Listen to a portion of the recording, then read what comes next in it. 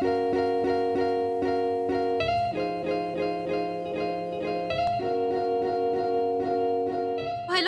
Friend! Welcome back sa channel ni Isyang Lucas. Sa video natin ngayon, isi-share ko sa inyo kung paano ko ginagawa yung aking foundation routine. Kung gusto nyo malaman kung paano ko tinatakpan yung aking mga tigyawat at peklat sa mukha, please keep on watching. Syempre mga friend, bago pa natin simulan yung ating paglalagay ng foundation or base makeup, kailangan nakapaghilamos, nakapag-tone at moisturize ka ng balat mo. Kailangan na prep mo yan ng maayos para mas magtagal yung makeup at mas maganda yung application ng foundation foundation. Syempre, dapat kailangan maayos yung ating pagkaka-foundation kasi dyan nakasalala yung blush mo, yung kilay mo, yung eyeshadow mo, or kung ano-ano pang ipapatong mo sa kanya afterwards. Importante na kapag tapos mo mag-prep ng iyong muka ay mag-primer ka kasi yung primer yung nakakapagpatagal ng iyong makeup lalo sa Pinas, mabilis tayong maghula so importante talaga yung primer. May mga primer na pore filling at meron namang nakaka-mattify. Para sa akin, mas gusto kong ginagamit itong NYX Angel kasi kasi parang namo-moisturize, nafe-feel niya yung mga pores ko at the same time, nakakatulong din siya na ma-mattify yung face ko. Sa paglalagay ko ng primer, konti lang yung paglalagay ko. Nagfo-focus lang ako dito sa T-zone kasi ito yung part na mabilis akong mag-oil. At saka ito yung part na marami akong malalaking pores. So, nilalagyan ko siya ng primer para ma-fill in yung pores at para mas smooth yung kanyang texture. Maghihintay lang ako ng ilang minuto, siguro hanggang 3 minutes para ma-absorb ito ng balat ko and then sunod na tayo sa foundation. Kapag katapos ko mag-primer, sunod na ako nagfa-foundation. Yung foundation na ginagamit ko ay itong Wet n Wild Photo Focus na foundation. Ito kasi yung favorite ko kasi ito lang yung foundation ko na talagang nagmamatch sa skin tone ko. Acidic kasi yung balat ko, kaya talagang hirap na hirap akong pumili ng shade ng foundation talaga para sa akin. Yung shade na meron ako ay yung golden beige, tapos ibiniblend ko siya ng sponge.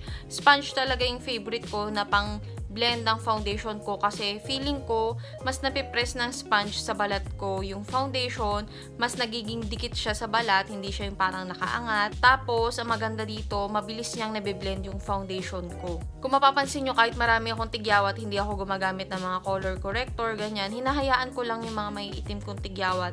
Kung kaya pa siyang takpan ng concealer, okay lang naman, or kung hindi matatakpan, okay lang din naman. Kasi feeling ko, kapag medyo lumalabas-labas yung mga blemishes ko, mas nagmumukhang natural yung makeup. Though kapag meron talaga mga special events na kailangan bongga yung makeup ko, kailangan talaga full coverage. Pero kung mag-film lang naman ako sa sasamba or may pupuntahan sa labas, okay na sa akin yung mga medium coverage ng foundation. Itong Wet n Wild na foundation, mayroon siyang spatula na applicator. Yung ibang tao, ginagamit to direkta sa kanilang mukha, pero ako, naglalagay lang ako sa back ng aking hand.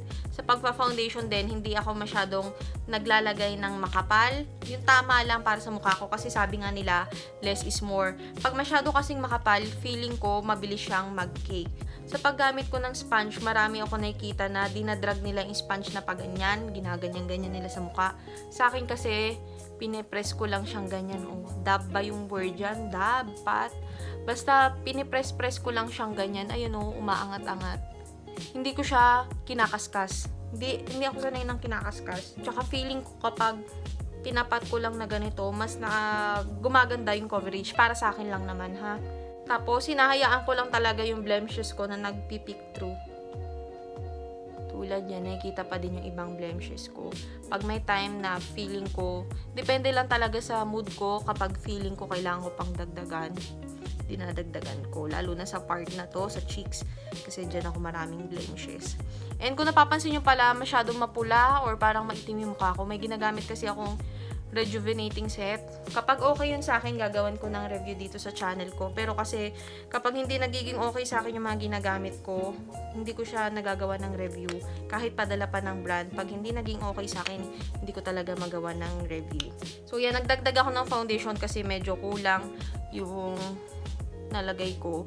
Ito lang hindi maganda sa walang pump. Kasi pag ang foundation ay may pump, tansyado ko na siguro mga dalawang pump para sa buong mukha ko. And kung napapansin nyo pala na masyado maputi yung face ko sa aking neck.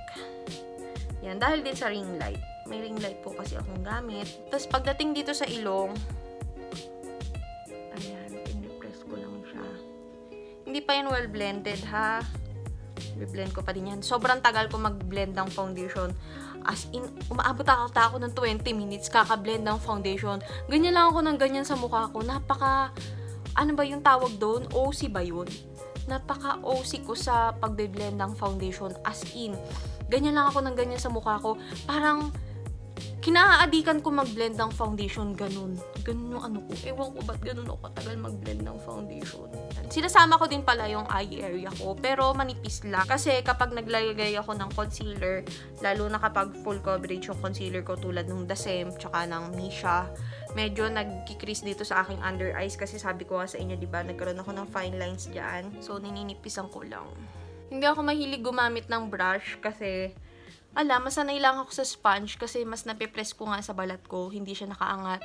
Tsaka kasi minsan pag sa brush, yung streaky siya, yung mga streak-streak sa mukha ko, ang hirap mag-blend. Iba pa rin talaga pag sponge. So yan, kapag medyo may natitira sa kamay ko or sa sponge, medyo dinadamay ko yung hanggang dito ng leeg ko. Pero dapat talaga yung pantay yung face tsaka neck nyo. Pero sabi ko nga sa inyo kasi nagpi-film lang naman ako. Okay lang. Alam ko mali ako doon, kaya wag niyo akong gayahin. Pero in real life, dapat talaga i-blend mo yan para magandang maganda yung foundation mo. Tapos ko nang i-blend yung aking foundation, medyo masakit lang siya sa braso, pero nasasanay-sanay na din naman ako. Hindi na nga ako nagko-color corrector, so pupunta na tayo sa concealer. Ito yung ginagamit kong concealer lately. Ito yung Canmake na nabili ko dito sa Japan. Cover and Stretch Concealer UV Waterproof Concealer daw ito. Yung shade na meron ako ay 01. Buti ito medyo yellowish siya kasi yung ibang shade dito sa Japan, kaya din hindi ako bumibili ng makeup dito kasi medyo pink. Ang dati ko talagang ginagamit is yung the same. Gustong gusto ko yun kasi full coverage. Tapos, Fit Me, yan. Gusto ko din yan. Kaya lang nga, ubus na. Hindi na din ako bumili kasi gusto ko naman makatry ng ibang concealer. Madami pa akong concealer dito. Hindi ko lang bet na ginagamit. So, ang paglalagay ko sa concealer, ganyan, inverted, inverted triangle. Alam ko ganyan ang tawag dyan eh. Dinadamay ko hanggang dito sa baba ng ilong. Kasi yan yung, yung gitna ng face natin, yan yung dapat naka-highlight. So, sa Cupid's bow din, naglalagay ako. Tapos dito sa baba, alam niyo ba yung baba ko, lagi talaga yung may tigyawat since noon pa. Kasi allergic ako sa toothpaste. Pero meron akong i-review na toothpaste, whitening toothpaste. Yan, kasi madilaw din talaga yung ngipin ko. Natural na madilaw. Tapos, allergic ako sa toothpaste.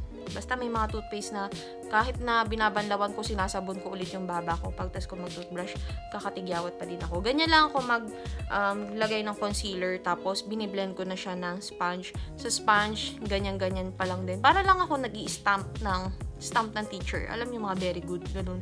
Parang ganun lang yung ano, ini-stamp, stamp. Dinadab. Hindi ko alam talaga yung word, dab or pat, ganyan. So, ginaganyan ko lang siya para itong gitna ng face natin ay highlighted na.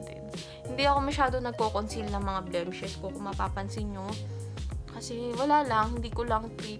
Mas gusto ko lang talaga sila nakikita. Parang mas totoo lang kasi mas natural. Ganun.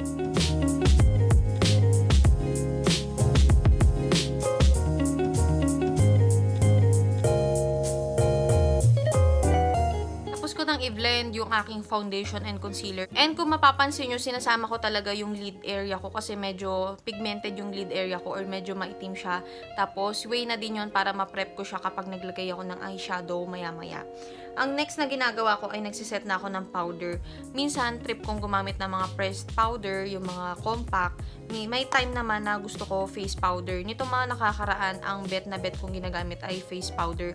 Pero ang ginagamit kong loose powder lately ay itong 3W Clinic professional na powder. Ewan ko, gustong gusto ko lang to. Hindi ko lang siya magamit ngayon kasi masyadong maputi yung Wet n Wild sa akin kasi pumipili talaga ako na mas maputi dahil nga acidic ako and nag-oxidize yung foundation sa akin.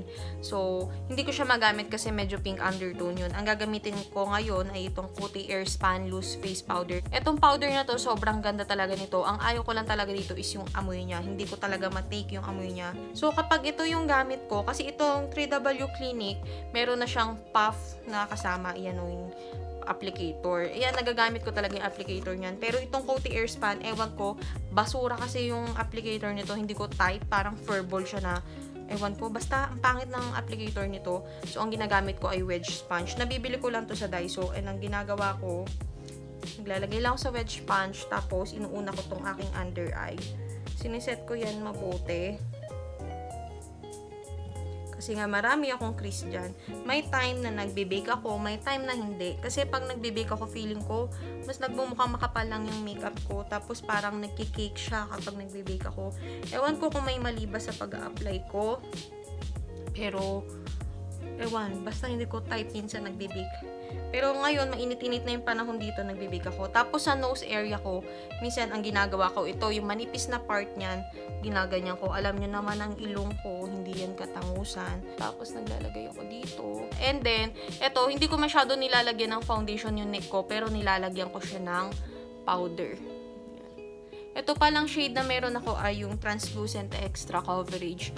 Medyo maputi lang to. So, kung kayo manggi kayo tulad ko, sinasabi niya translucent siya, pero nakikita pa din eh, nakikita pa din na maputi siya. Tapos kapag hindi ko gusto mag-bake, nagbabrush na ako agad ng face. Ito yung ginagamit ko, yung medyo makapal-kapal na powder brush. Kasi feeling ko napapat niya din na maayos yung foundation. Basta parang nabiblend niya din na maayos.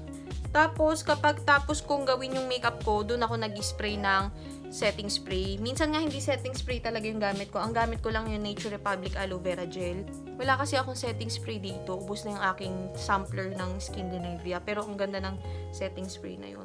Tapos dito sa mga gilid-gilid ng nose, talagang biniblend ko yan or binabrush ko na maayos.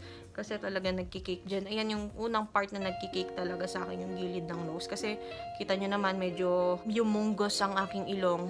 Masyadong bulbasor ang aking ilong. Ganyan ko lang ginagawa yung aking foundation na next na mga step. Minsan inuuna ko magkilay, minsan inuuna ko mag-contour. Depende kung ano yung trip ko. Pero ganyan ko lang ginagawa yung aking foundation. Marami din kasing nakakapansin na natatakpan ko talaga yung mga peklat at tigyawat ko sa foundation ko. Sa video, hindi masyadong halata yung mga blemishes. Pero sa personal, may blemishes pa kayo makikita dyan. Tulad nito, nakikita pa tong peklat ng aking bulutong kasi nakaibaba iyan. Yan o, nakikita pa din yung ibang blemishes. Pero kahit pa paano, mas okay na siya kaysa yung kanina talaga.